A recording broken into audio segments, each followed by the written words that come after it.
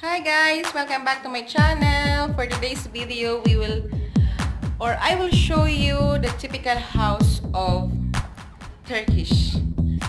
Okay. Come with me. Mag-house tour tayo. Okay, so dito tayo magsimula. Yung mga house dito is parang ano siya, kwarto, kwarto, kwarto, puro kwarto. Pero okay siya, maganda siya, in fairness. Ito, yan, kwarto. Kwarto to ng mga anak ko. Kaya lang, hindi namin ginagamit kasi sobrang lamig dito. Hindi namin binuksan yung heater. Tipid-tipid tayo, guys. Ayan, kwarto ng mga anak niya. Yung isang kama dyan, nilagay ko dito sa kwarto namin para ano, dito na lang kami sabay-sabay matulog para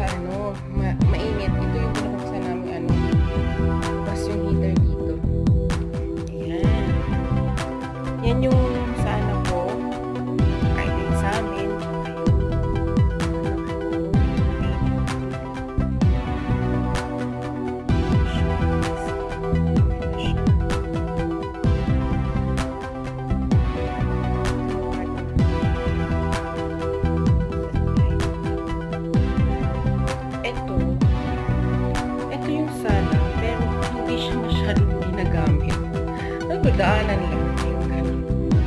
Kasi ano, yung mga tao, di ba, pag may bisita ka, diretso sila dito.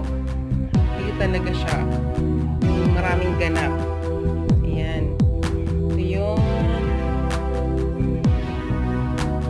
ito yung bali ito yung ano namin ito na yung pinakasala namin pero dito sa kabila hindi namin siya masyadong ginagamit. Yan. Ito lang talaga yung pinakasala namin. Kasi dito sa ano sa Turkey iba-iba yung ano yung purpose ng ano ng every kwarto di ba? Tsaka ito meron din dito kwarto. Ayan. Pasensya na kayo kasi may nakasampay. Hindi ako makapagsampay sa labas. Ang lakas ng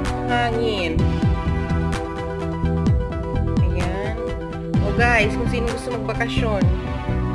Dito ay sa bahay ko. Free pa itong isang kwarto. Ayan. Tsaka yung mga upuan na yan ano siya pagkagabi pwede siyang i-open. Pwede siyang bed. Pagkagabi. So ayan gusto mong bakasyon? Here. Available. So ito nga yung sinasabi ko na pinakasala diretso na yung kusina. Ayan. Kusina na siya. Ayan.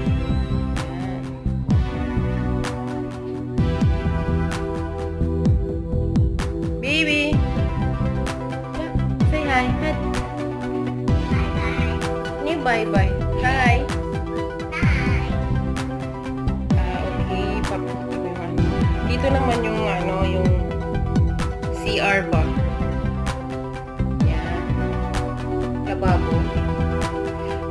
Dalawang CR. Medyo madilim. Dalawang CR siya. Ito tong isang to. Ito talaga yung for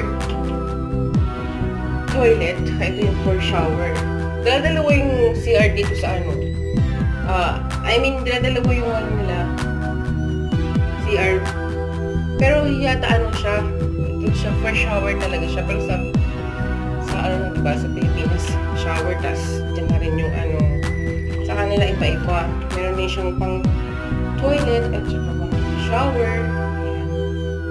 Yun yung ano, medyo ano sila dito. Tsaka ito yung, dito ginagamit yung mga, ano ko dyan, mga, ayan, mga gamit ko yan, lababo, ayan, dyan, ayan, ayan,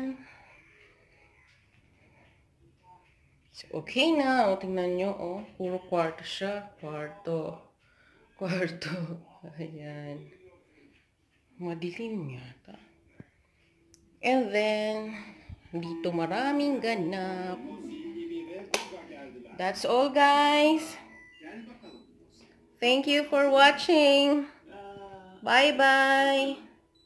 See you in my next video. And don't forget to like and subscribe. Bye.